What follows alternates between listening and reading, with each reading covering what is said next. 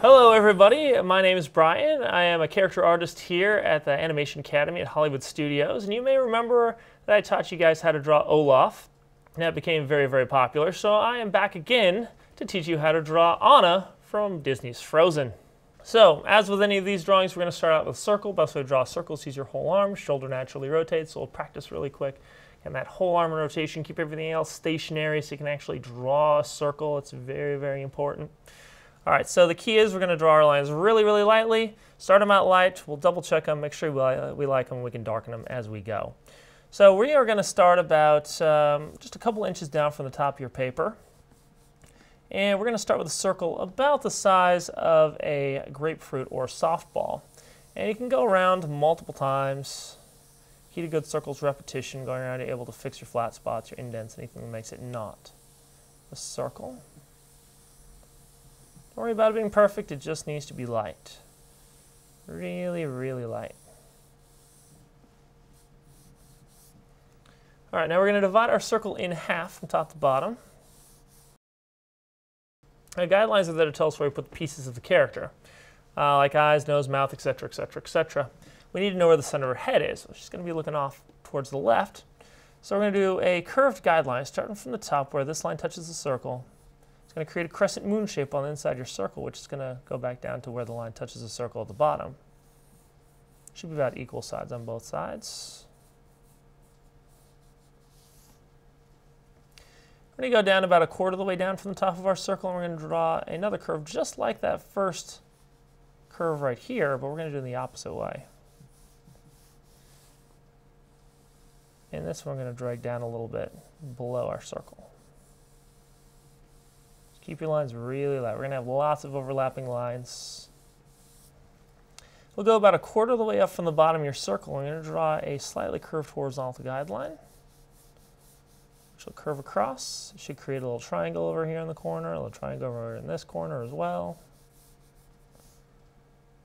We'll go about an inch above that and draw a parallel curve, like so.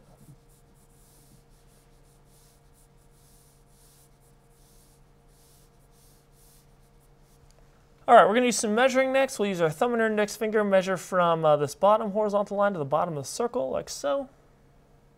And keep your hand just like that. Slide down so your index finger touches the bottom of your circle, and where your thumb lands, you will draw a line. That's going to help us line up that chin. All right, now we're going to start to carve her face out of this. And I'm going to start just above this top horizontal guideline, just a little bit on the inside of the circle. And I'm going to draw a curve on the inside of the circle. It's barely in there. Once I get in between these two curved guidelines, I'm going to dip in a little bit and curve back out. So I run back into where that guideline touches the side of the circle. It's like a very shallow, stretched out letter S. Then I'm to go down just below the circle, curve inwards, and down to that line. This is her cheekbone right there, so you want to keep it really light in case you give her the mumps or something. You want to be able to fix that later. Once we hit this line down here, we're going to curve across the bottom, creating her chin. Staying just below the circle, run up and run into this line right over here. All right, I'm going to go back up to the top, and we're going to follow the top of the circle out to the right. I'm going to leave the circle. We're going to create her traveling hat that she's wearing that she gets from Oaken's. Come to an angle, and then shoot across to run into the bottom there. So that creates her traveling hat for the most part. That traveling hat is fur lined. So for now, using our light lines, we're just going to draw an arch starting from just above, about an inch above her uh, side of her face right there. I'm going to curve up until I run into that guideline, and then curve back down until I run into that top horizontal guideline. This will eventually become her fur lining, but for now, it's just a light arch. All right, as we uh, keep going through this, we're going to measure once again from the top of your circle to that bottom line right here. Drag that down to the bottom of that line. Where your thumb lands, you will draw a straight line very, very, very, very, very, very lightly. That tells us how far down her braids are going to go she's got those double braids. And what we're going to do is, uh, for now, we're just going to make it look like she has breadsticks dangling off, off of the bottom of her head. And the braid on this side is going to be the same width as the hat. So we're just going to go down at a slight angle to the left, run down to that line, and back up. Very, very light. Over here in this flat spot on the face in between the cheekbone and the chin is where we draw the other one, going at the same angle, another breadstick sticking out over there. Just below the chin right here, we're going to draw a check mark, which will run down just to the left of that dividing line and then curve back up. This is her neckline. She's got her cloak that she's wearing. And then to the left of that, we draw a little curve to show the neck. All right, her eyes are uh, going to be wide ovals. If you're not sure how to draw an oval, just draw a circle incorrectly. Uh, but you want to make sure that you're drawing wide ovals, not tall ovals. If you draw tall ovals, you're going to make her really, really surprised. So you want to make sure you get good wide ovals. And it's going to be in between these guidelines right here. It's going to be partially to the left of that dividing line. And draw a nice wide oval. Now, leaning against the center guideline right here, the other eye is going to be more like a circle. It's just pushed against those guidelines, the side of the face, like so. Should be about one eye width apart from each other, just like regular human anatomy. Above those eyes, we get eyebrows. And uh, the eyebrow for the right eye over here is going to be in between the center guideline and the dividing line. And it's like a stretched out swoop. It's going to curve down like this. We add a little bit of thickness to it. Curve down. Over here on the left, it's going to be a little bit higher up. So across from the top of this eyebrow is where we get the bottom of the other eyebrow. So it's like she's raising her eyebrow at us. And coming off the side of her face, we get the, raised eyebrow. She's not sure what's going on. From the tip of that eyebrow, we draw the bridge of the nose. The bridge of the nose is going to be going the opposite direction from the center guideline. We're going to hit right at the bottom horizontal guideline where the center guideline touches the horizontal guideline. And then we run into the circle and curve down. That gives us our nose. Little angle inwards.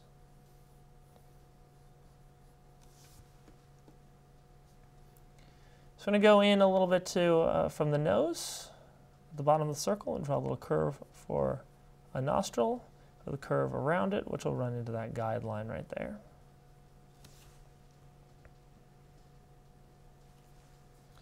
Down from the middle of the eye, just below the nose, we're going to draw her mouth. They're going to give her a bit of a smirk, which will curve up right where that dividing line touches the bottom of the circle, like so. And we can open that mouth up, kind of a stretched out, squared off letter U shape. And we'll worry about putting detail into that a little bit later.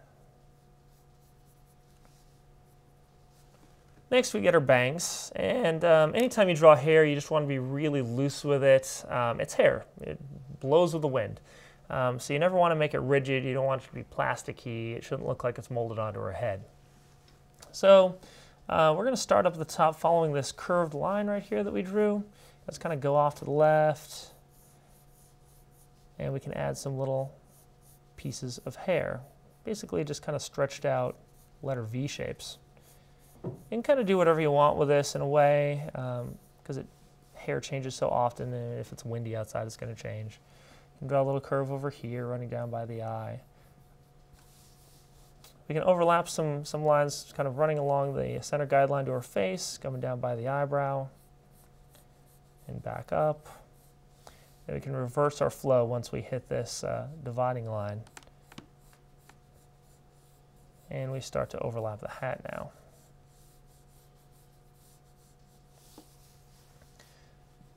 Now we can pull the uh, extra little curve across the top here into the hat to just show a little more where the hair is kind of stretched down into her braids.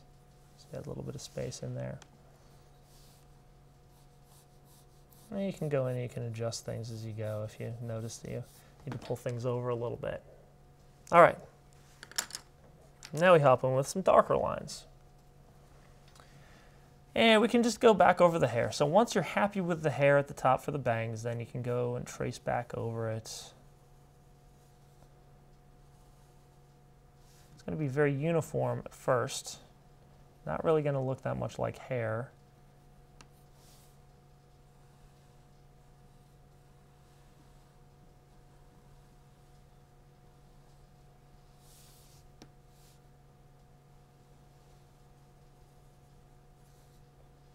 But then what makes it look like hair is strands. Just go in there and add some strands. And you can have them, you know, leaving the, uh, the rigidness of the bangs. That's really what you need to do if you want to make something look like hair. You add strands.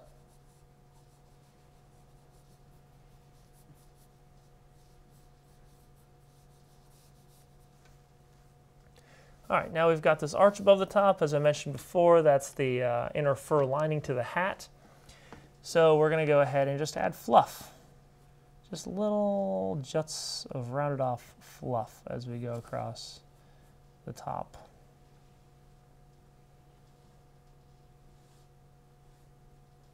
I want to be really fluffy with it. Now we can get the hat.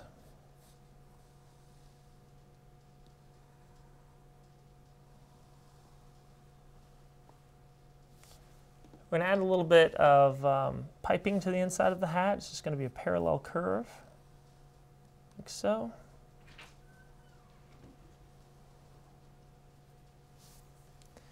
Then um, go back and look over the face, make sure there's nothing you need to change about it before we make it permanent.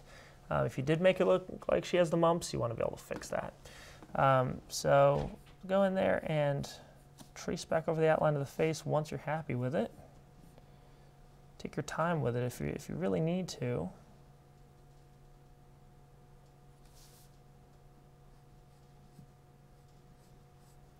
And remember as you're doing this, if you're not liking how your drawing is going, just let it go.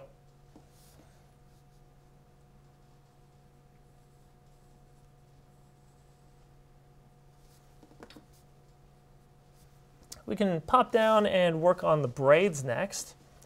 Um, with braids, everybody's seen braids. Um, don't overthink it too much. It's a lot easier than it, than it looks like it should be. So we're going to go up to the top and I'm going to draw.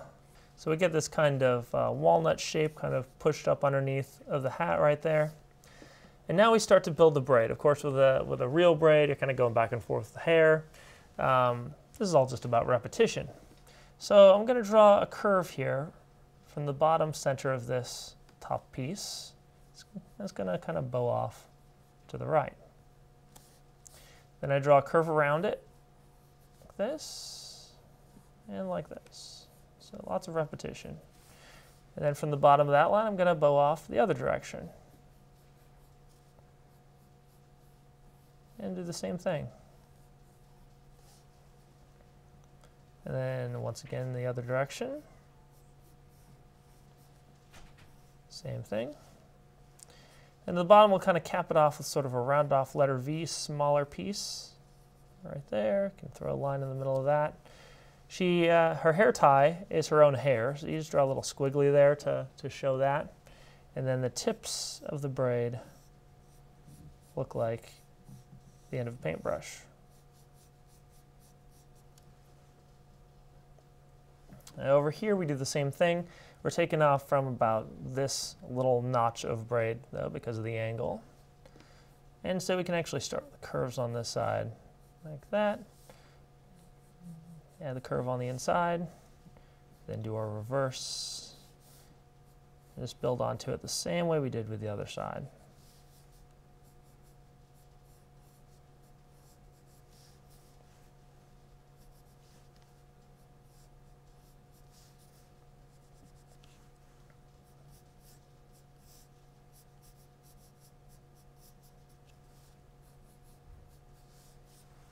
All right, then of course to make it look like it's hair, we add the strands again. Just lost of little strands line. It's amazing what you can do by just kind of scribbling in there. Of course, on the left braid, she has that white streak that uh, was thanks to Elsa. So if you end up coloring this, remember to kind of intertwine that white streak in there. While we're down there now, we can get that cloak.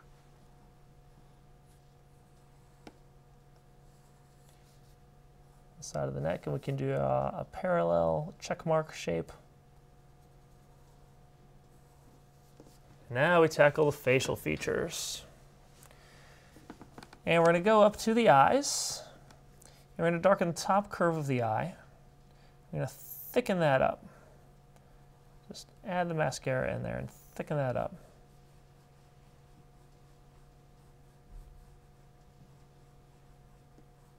And we're going to cake the mascara off to the right into a, a point.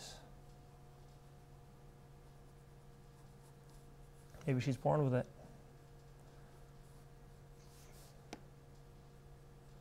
And we can use a thinner line to finish the bottom.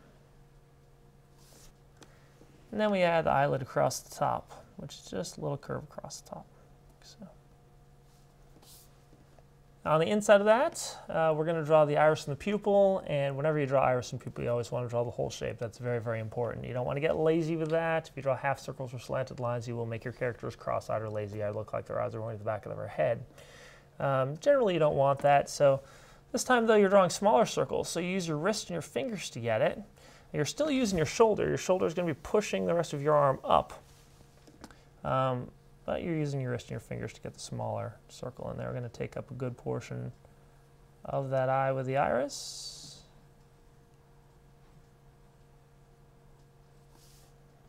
And then we get a pupil on the inside of that, another circle.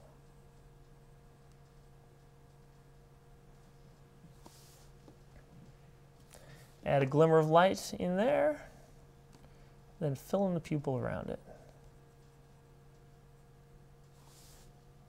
You can put a light shade through that iris. As long as you keep it light, you don't want to make it solid black or it'll blend with the pupil and you'll give her a really dilated eye. You can go ahead and get that eyebrow while you're over there. Once again, don't get discouraged while you're doing this. Uh, a character like Anna takes a lot of practice. Just keep going. Don't give up. You can do it. I'm going to go over the other eye. Darken the top curve once again. Thicken that up so she looks easy breezy and beautiful. Come to the point.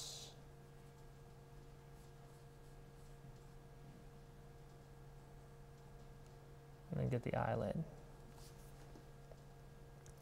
Now on this eye with the iris and the pupil, it's going to be partially masked just because her head is turned away from us, so we get a different angle.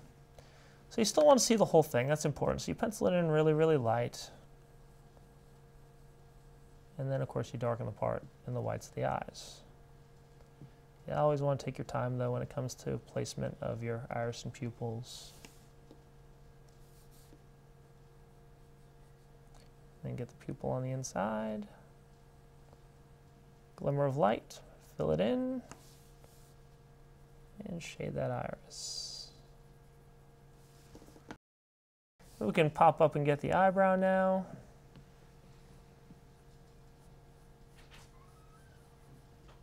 The eyebrows, you can put a nice light gray shade on there. Her eyebrows are just like her sister's, they're kind of a grayish beige tone. Um, whereas, of course, Anna's hair is kind of a strawberry blonde. Right, from there, we're going to trace back over the bridge of the nose, and the nose itself, and the mouth.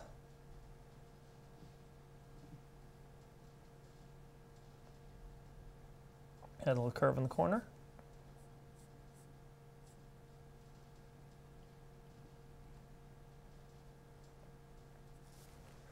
Yeah, the bottom lip now on the inside, and it's going to be thick and then a little bit thinner on the right. Just because our face is turned away from us. Then we get the upper lip over here.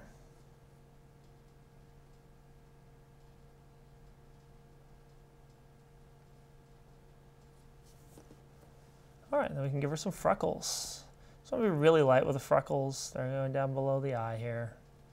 There's lots of random little dots. And you can put a shade on the uh, inner piping to the hat. Use the side of your pencil and shade really fast.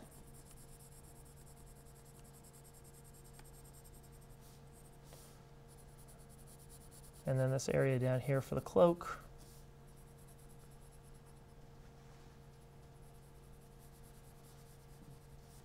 Go ahead and sign your drawing.